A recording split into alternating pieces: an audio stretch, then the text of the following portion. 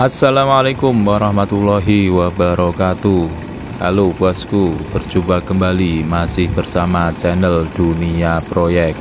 Tentunya channel yang membahas tentang dunia konstruksi bangunan.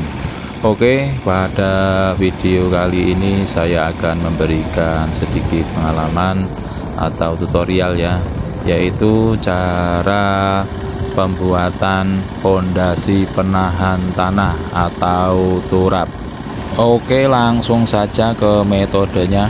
Yang pertama kita siapkan yaitu materialnya yaitu pakai semen, pasir, dan batu gunung.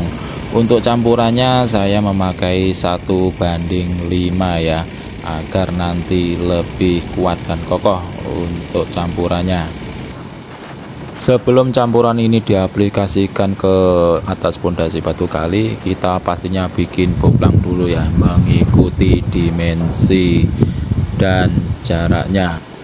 Karena dimensi pondasi batu kali atau turap ini sangat besar, maka untuk campurannya kita tidak perlu memakai ember satu persatu ya langsung dibikinkan sebuah talang dari seng. Kita modifikasi seperti talang.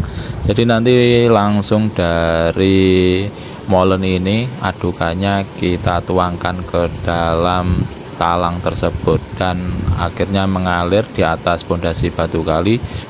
Baru adukannya nanti kita ratakan di atasnya batu kali yang sudah tertata rapi ini ya bosku dan nanti kita ratakan di antara celah-celah batu kali ini agar nanti lebih cepat untuk pemasangan batu kali tersebut.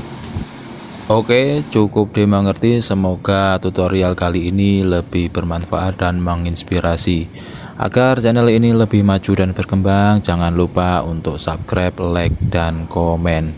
Dan tidak lupa saya ucapkan banyak terima kasih yang sudah mampir di channel Dunia Proyek ini.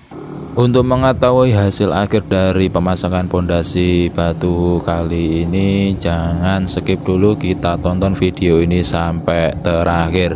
Oke bosku cukup sekian dari saya. Akhir kata wassalamualaikum warahmatullahi wabarakatuh